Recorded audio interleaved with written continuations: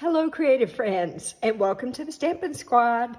I just got my July Paper Pumpkin kit in the mail, and so I thought I would come on and open it up with you, and we can see what surprises are inside the box this month um, together.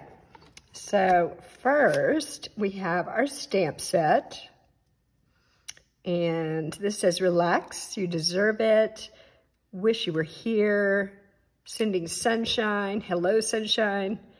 Sorry, I was crabby. That's funny. Waving hello. I see brighter days ahead. Sending an ocean of love. Really cute sentiments in this one. And there's a starfish and a sun stamp.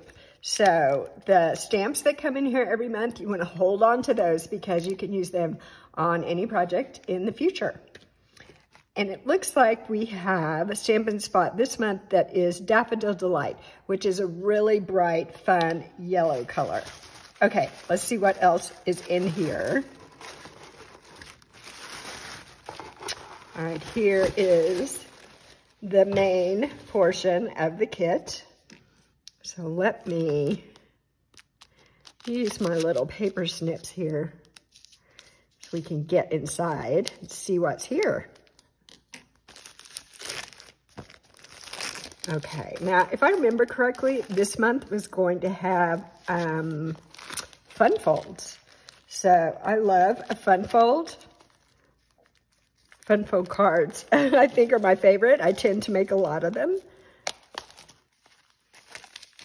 So let me see if I can get the plastic off. My goodness. Okay, I'm going to flip this over on the other side, and this is the instructions. So let me hold this up. It shows you the three different styles of cards that you can make with the items in the kit.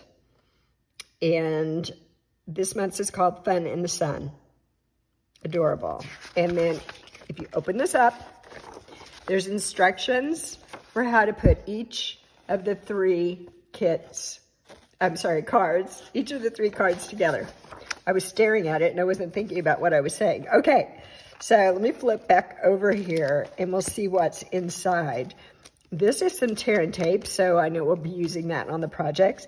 These envelopes are gorgeous as usual. It has kind of this like retro beachy stripe on the envelopes. And then inside the inside flap and inside the envelope is, I think that is Azure Afternoon. It's a beautiful blue.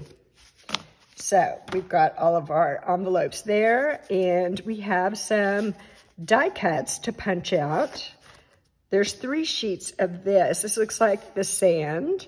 And here it looks like a little island with the palm trees, the sun, and the beautiful ocean.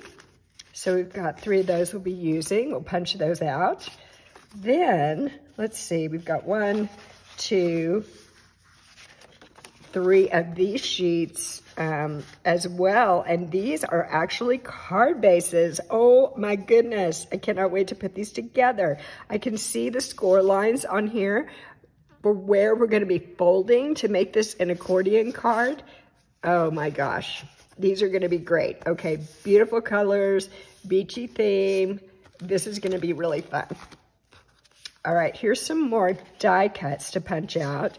And it looks like we've got three sheets of this too. On this side, we've got a little sailboat on the ocean. And in this side, we've got a little island, the palm trees, the sun, um, I guess a sunset or a sunrise. And this cute little hut I would like to be there right now, um, and the ocean. So we've got some of those to punch out and use on our cards. Oh, here's another card base.